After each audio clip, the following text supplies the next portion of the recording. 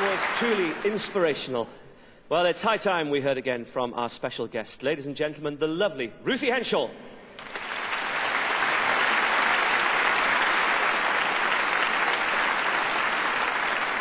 It's such a delight having you with us to celebrate Christmas. Um, how will you be celebrating Christmas Day? I'm actually going to be in Paris. My husband's doing an opera. That must be awful for you. Dreadful. So um, I'm going to be chowing down on lots of French bread and wine, I think. Is Christmas Day important to you? yes, it is. Um, very much so. I, I'm a Christian. I would call myself a Christian. And um, so for me, uh, it's very important that I teach my children what it's about. And it's, you know, and the giving and receiving, not just um, that it's a day to get all the toys they want, which of course it is that as well for any child. But no, I want to teach them the real meaning of Christmas. Why do you think God wanted you to be a singer? I, I believe my, my voice is God given. I don't believe, you know, and, and I believe that when you've been given some kind of voice or gift or talent for something, whatever it is, that you need to use it and also use it to, um, for the good. You know, we put on shows and somebody might have come out and, you know, had, had a really rough day and they come and see a show and something touches their heart and they feel different. So I feel very privileged to do what I do because um, you know, I get to do this, and, you know, how lucky can you get? We're delighted that she's with us this evening. She's made our night, hasn't she? Thank you.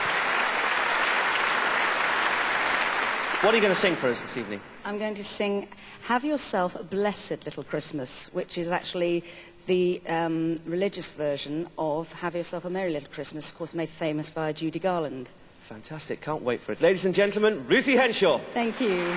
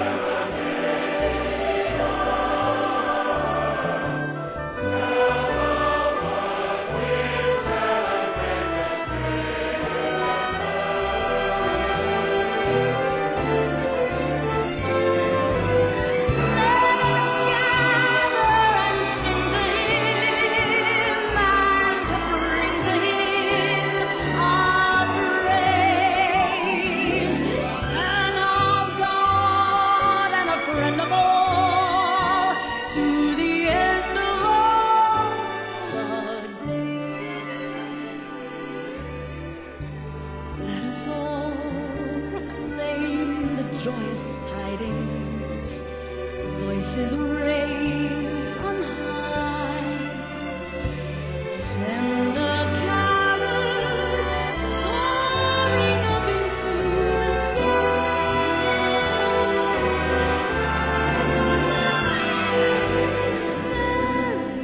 Merry, merry, blessed Christmas love.